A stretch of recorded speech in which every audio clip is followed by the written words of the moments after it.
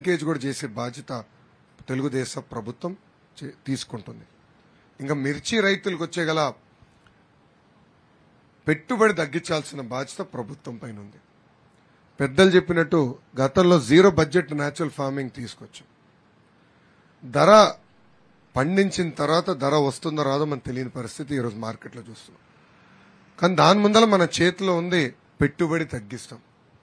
గతంలో ఎట్లయితే input subsidy ద్వారా మిమ్మల్ని ఆదుకుని పెట్టుబడి తగ్గించానో తగ్గించామో అదే విధానం మళ్ళీ తీసుకొచ్చి పెట్టుబడి తగ్గించే బాధ్యత మేము తీసుకుంటాం. ఒకవేళ పండించిన పంటకి గిట్టుబాటు ధర రాకపోతే తప్పనిసరిగా మిమ్మల్ని ఆదుకునే బాధ్యత తెలుగుదేశం ప్రభుత్వం తీసుకుంటుంది. లోకల్గా మార్కెట్ యార్డ్ కూడా ఏర్పాటు చేస్తే బాగుంటుందని పెద్దలు కోరారు. కరెక్ట్ లొకేషన్ అంటే ఎక్కడ పండిస్తారో చూసుకుని కరెక్ట్ లొకేషన్లో తప్పనిసరిగా మిర్చి యార్డ్ కూడా ఏర్పాటు చేసే బాధ్యత తెలుగుదేశం పార్టీ తీసుకుంటుంది. ఇంకా పొగాకు రైతుల గురించి నేను కూడా చెప్పాను. ఇంకా ఇంటి పక్కన వస్తే వరి రైతులు కూడా మనమే కాదు ప్రత్యేకంగా ఉభయ గోదావరి జిల్లాలో ఉన్న రైతులు కూడా చాలా నష్టపోయారు. ఈ ప్రభుత్వం ఎంత కొనుగోలు చేస్తారని కూడా చాలా స్పష్టంగా చెప్పే పరిస్థితుల్లో లేదు. ఒక మాటలో చెప్పాలంటే వరి రైతుల్ని దళారి దళా దళారుల చేతుల్లో వదిలేసింది. దానివల్ల రైతాంగం చాలా నష్టపోతున్నారు. గతంలో ఎకరానికి ఇరవై వేల రూపాయలు పెట్టుబడి అవుతే ఇప్పుడు దాదాపు నలభై వేల రూపాయలు పెట్టుబడి అవుతుంది. పక్క రాష్ట్రాల్లో దాదాపు డెబ్బై లక్షల మెట్రిక్ టన్నులు ఒకే పంటలో కొనుగోలు చేస్తే ఇక్కడ అన్ని కలిపి యాభై యాభై ఐదు లక్షల మెట్రిక్ టన్నులు కన్నా దాటే పరిస్థితి లేకుండా చేసింది ఈ ప్రభుత్వం. ఇంతేకాకుండా గతంలో ఎట్లయితే బాబు గారు ఆదుకున్నారో మీకు నిలబడ్డారో మీరే పెద్దలు చెప్పారు పదిహేను రోజులకే గతంలో పేమెంట్ వచ్చేది. ఇంకా నెల్లూరు సిటీలో జరిగిన కుంభకోణం బాగా తెలుసు.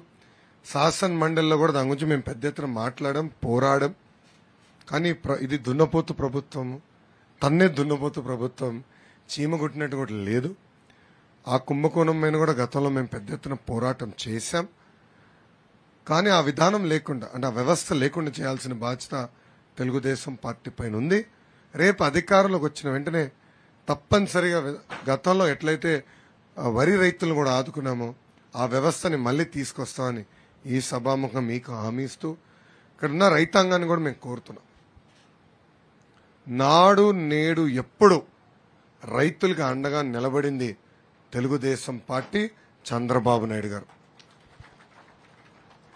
ఒక వ్యవసాయ రంగం హార్టికల్చరే కాదు అనుబంధ రంగాల్ని కూడా ఆనాడు పెద్ద ఎత్తున ప్రోత్సహించాం. పాడి రైతుల్ని ప్రోత్సహించాం. ఆవులు గో- కొనాలంటే సబ్సిడీ ద్వారా అందజేసాం ఫీడ్ సబ్సిడీ ద్వారా ఇచ్చాం.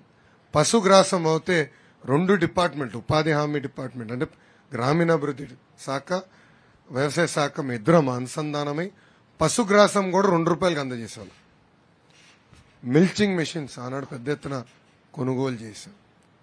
పట్టు రైతులు కూడా అట్లా అదే విధంగా ఆదుకున్నాం. ఈరోజు మీరు నమ్మరు పట్టు రైతులకి యాభై కోట్లు పెండింగ్ పెట్టిందండి ప్రభుత్వం. పాపం వాళ్ళు కూడా బాధపడుతున్నారు. పట్టు రైతులకు ఆనాడు మల్బరీ ప్లాంటేషన్ డబ్బులు ఇచ్చాం. సిల్క్ వరం రేరింగ్ షెడ్స్కి డబ్బులు ఇచ్చాం.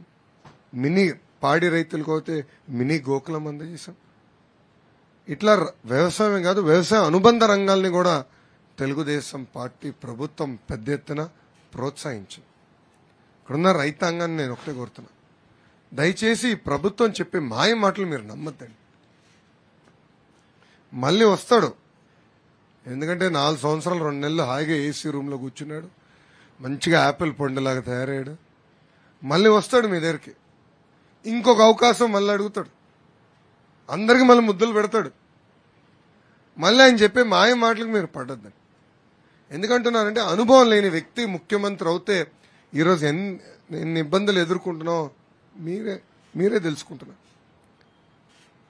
రైతు రాజ్యం తీసుకొస్తాన వ్యక్తి ఏకంగా రైతుల మోటార్లకు మీటర్లు బిగిస్తాడని ఎంత అన్యాయం చూడండి. సో దయచేసి ఇది మీరు గుర్తుపెట్టుకోవాలని మిమ్మల్ని కోరుకుంటూ. ఇప్పటికీ చాలా స్పష్టంగా చంద్రబాబు నాయుడు గారు హామీ ఇచ్చారు.